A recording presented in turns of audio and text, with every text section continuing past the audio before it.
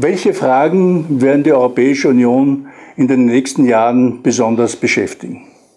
Meiner Meinung nach sind das vor allem drei Bereiche, nämlich der Migrationsbereich, die Frage natürlich der Wirtschafts- und Währungsunion und drittens die Gestaltung der auswärtigen Beziehungen der Europäischen Union. Und zu diesen drei Politikbereichen möchte ich einige Bemerkungen machen. Zunächst zur Migration. Seit 1999 hat die Union im Rahmen des sogenannten Raums der Freiheit, der Sicherheit und des Rechts recht beachtliche Anstrengungen zur Schaffung eines sogenannten gemeinsamen europäischen Asylsystems unternommen. Artikel 78 AUV verleiht der Union die Kompetenz hierfür. In mehreren Rechtsakten wurden gemeinsame Normen für die Anerkennung von Flüchtlingen, für das Asylverfahren zur Zu- oder Aberkennung des Flüchtlingsstatus, zu den Aufnahmebedingungen für Flüchtlinge erlassen. Zu diesen Regelungen gehört auch die bekannte Dublin III-Verordnung, in der Kriterien und Verfahren zur Bestimmung jenes Mitgliedstaats festgelegt werden, der über einen Asylantrag entscheiden soll, also der dafür zuständig sein soll. Auf einer organisatorischen Ebene leistet das Europäische Unterstützungsbüro für Asylfragen eben Hilfestellung für die Mitgliedstaaten, aber dieses Büro besitzt selbst keine Entscheidungs- oder Exekutivbefugnisse. Mit der Asyl- und Migrationsproblematik eng zusammenhängt natürlich auch die Frage der Kontrolle der Außengrenzen der Union. Die Binnengrenzkontrollen sind schon weggefallen im Rahmen der Realisierung des sogenannten Schengen-Prozesses.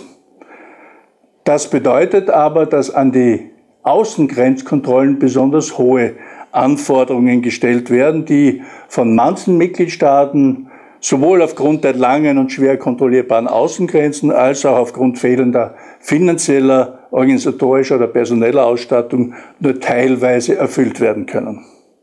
Schrittweise soll daher ein integriertes Grenzschutzsystem an den Außengrenzen eingeführt werden und es ist auch an die Schaffung einer europäischen Grenzschutztruppe gedacht.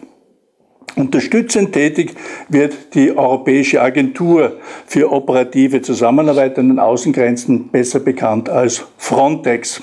Aber auch ihre Aufgabe besteht primär darin, die Mitgliedstaaten bei ihrer Tätigkeit zu unterstützen. Dieses System, das, dessen Aufbau ohne dies mit vielen politischen Widerständen zu kämpfen hatte, ist jetzt durch einige Entwicklungen massiv in Schwierigkeiten geraten.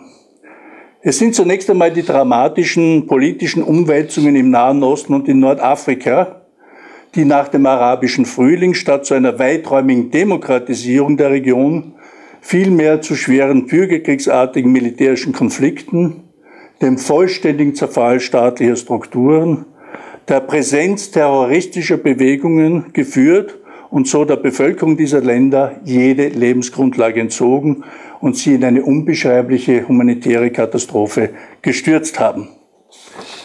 In den letzten Jahren ist daher die Zahl der in der EU asylsuchenden Personen explosionsartig angestiegen, zusätzlich zu jenen Flüchtlingen, die schon traditionell aus Afrika, aus Afghanistan, aus dem Irak und so weiter nach Europa streben.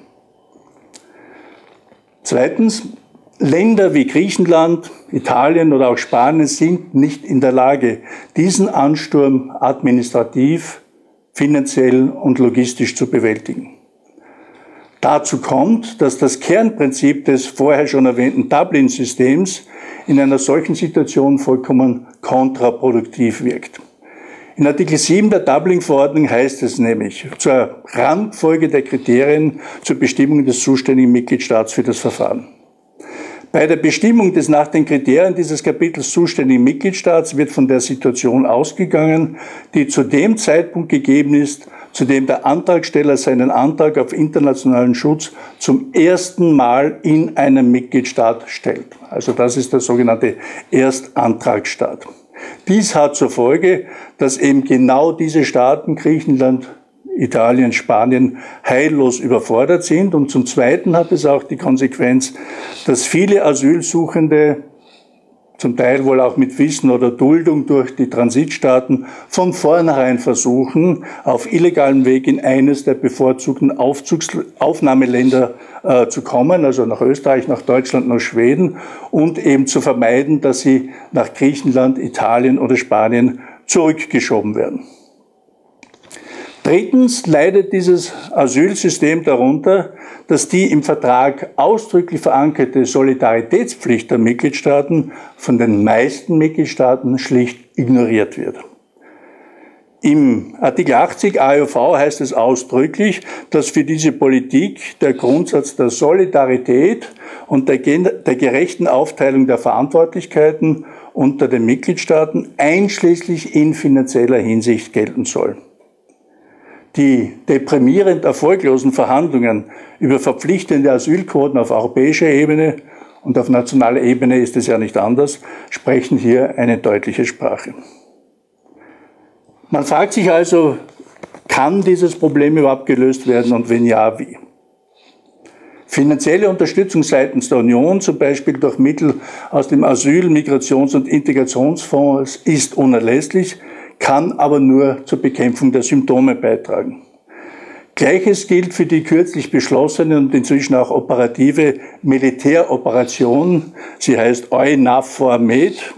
Und ihr Auftrag besteht darin, dazu beizutragen, ich zitiere, das Geschäftsmodell der Menschenschmuggel- und Menschenhandelsnetze im südlichen zentralen Mittelmeer zu unterbinden, indem systematische Anstrengungen unternommen werden, um Schiffe und an Bord befindliche Gegenstände, die von Schleusern oder Menschenhändlern benutzt oder mutmaßlich benutzt werden, in Einklang mit dem Völkerrecht auszumachen, zu beschlagnahmen und zu zerstören. Am 26. Juni 2015 hat der Europäische Rat drei Dimensionen der künftigen Migrationspolitik in den Mittelpunkt gerückt. Erstens die Umsiedlung oder Neuansiedlung von Flüchtlingen. Zweitens die Rückkehr bzw. Rückführung oder Rückübernahme von Flüchtlingen. Und drittens die Zusammenarbeit mit den Herkunfts- und Transitländern. Meines Erachtens völlig zutreffend wird den letzten Punkt vom Europäischen Rat besondere Wichtigkeit zugesprochen und zwar sowohl im Hinblick auf die Bewältigung der Ströme irregulärer Migranten als auch vor allem im Hinblick auf die Beseitigung der eigentlichen Ursachen der Migration. Angesichts der tatsächlichen Situation in den Herkunftsländern ist dies eine langfristige Aufgabe, so sie überhaupt zu bewältigen ist. Auch hat die Union de facto nur sehr begrenzte Einflussmöglichkeiten in den betroffenen Regionen selbst. Realistischerweise wird sich also meiner Meinung nach die Politik der Union in diesem Bereich in den kommenden Jahren nicht auf die Beseitigung der Ursachen, sondern leider nur auf die Bewältigung der praktischen Probleme äh, beziehen können, und zwar insbesondere durch eine intensive Zusammenarbeit mit den Drittländern und durch die Milderung der Situation der Schutzsuchenden durch umfassende humanitäre Hilfe. Die Grundlagen dieser Politik hat die Kommission im Mai in einer sogenannten europäischen Migrationsagenda niedergelegt. Die Hauptverantwortung aber liegt meines Erachtens eindeutig bei den Mitgliedstaaten, die ihrer Solidaritätspflicht nachkommen müssen.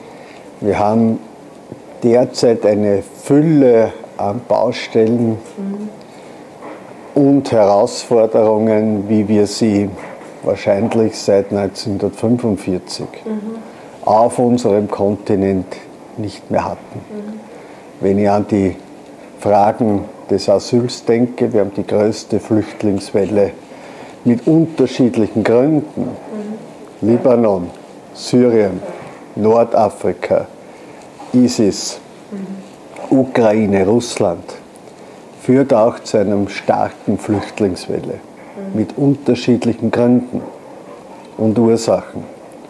Ist ein eklatantes Problem und eine Herausforderung, humanitär und politisch und was die Migrationspolitik mhm. betrifft. In Österreich ruft jeder nach der Europäischen Union, was den Aufteilungsschlüssel beim Asyl betrifft. Ja. Nur wir haben derzeit zwischen den Mitgliedstaaten keine Mehrheit, dies zu erhalten. Die Kommission will den Aufteilungsschlüssel oder den Vorschlag gemacht. Das Parlament will den Aufteilungsschlüssel, hat einen Vorschlag gemacht.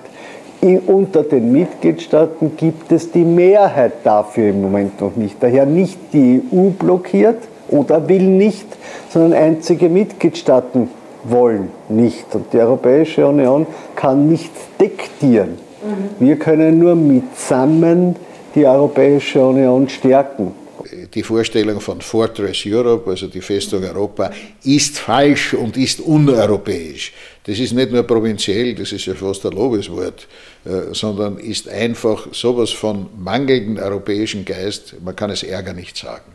Das ist sicherlich etwas, wovor man nicht die Augen verschließen darf. Viele Leute glauben, wenn ich da wegschaue, dann ist das, hat das nichts mehr, dann ist das Problem vorbei. Das ist nicht vorbei, es ist wirklich ein Problem. Wir werden noch viel mehr Migrationsdruck haben. Nicht, weil die Menschen böse sind und weil sie an unsere Futtertöpfe wollen, sondern weil es Instabilität, Krieg gibt, zum Teil durch uns selber verursacht. Und wir müssen diese Dinge klar sehen. Die Bevölkerung will mit Recht Sicherheit. Äh, dazu gehört es meiner Meinung nach, die Situation in den Herkunftsländern zu stabilisieren. Es geht nicht, dass erst 10% der Gelder, die für äh, für Irak zugesagt worden, tatsächlich äh, geflossen sind. Da kann man die Flüchtlinge nicht ernähren. Ja. Da brauche ich mich nicht wundern, wenn der Druck entsteht. Also hier müssen wir viel klarer sein. Ich will auch nicht, dass Menschen äh, in die Hände von Schleppern fallen, weil sie keine Möglichkeiten haben, um Asyl anzusuchen. Wir haben also keine Verfahren an, an irgendwelchen Kontaktpunkten der EU, wo man das also außerhalb der, der Grenzen machen kann. All das müssen wir schaffen. Und wir brauchen dann auch, glaube ich, eine gerechte Verteilung innerhalb Europas. Es kann nicht sein, dass einzelne Länder alles nehmen und andere gar nichts.